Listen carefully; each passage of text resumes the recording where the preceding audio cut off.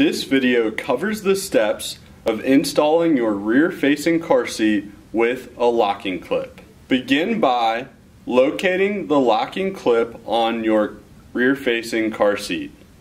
If you are unable to find the locking clip, please contact Graco's Consumer Services. Next, buckle your seatbelt through the rear-facing belt path.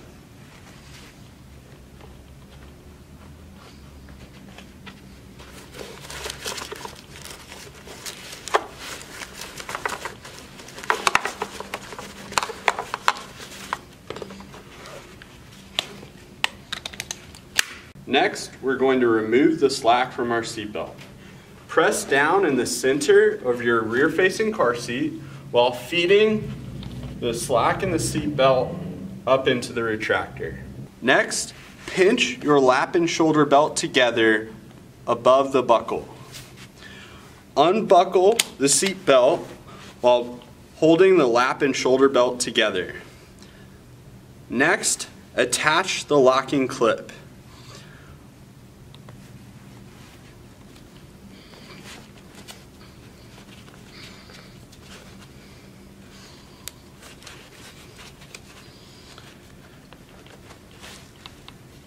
When attaching your locking clip, the locking clip should be less than one inch away from your sliding latch plate and all four prongs should be on the top of the seatbelt.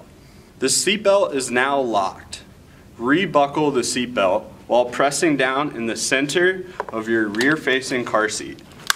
If you are not able to buckle your seatbelt, your locking clip has made the seatbelt too short.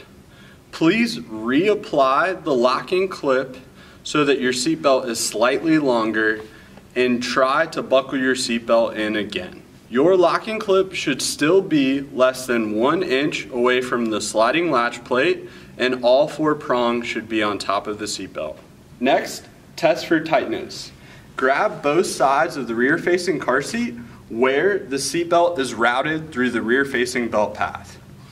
Firmly shake the seat side to side and front to back. Your rear facing car seat should not move more than one inch front to back or side to side. If your rear facing car seat moves more than one inch front to back or side to side, repeat the installation process until your rear facing car seat does not move more than one inch side to side or front to back. When checking your level indicator, Make sure your vehicle is on level ground.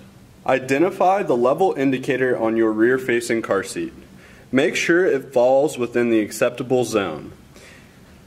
Close to your level indicator is a label identifying the acceptable zone for your rear facing car seat. If your level indicator does not fall within the acceptable zone, uninstall the car seat, adjust the recline angle, reinstall your car seat, and check your level indicator. Make sure it falls within the acceptable zone. Your rear facing car seat is now correctly installed with a locking clip.